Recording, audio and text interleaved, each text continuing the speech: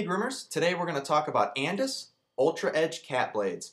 These blades are specifically designed for grooming cats and feature a uniquely designed wave pattern that feeds cat hair much better than traditional steel blades, also dramatically reducing track lines for a much smoother finish.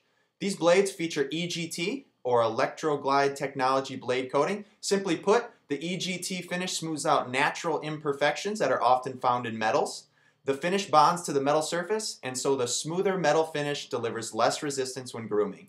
This process makes for exceptionally fast and smooth cutting blades. I'm sure you're noticing these blades are green, and that's just for easy identification in your blade storage. There are three sizes available, a 7F, a number 10, and a number 30.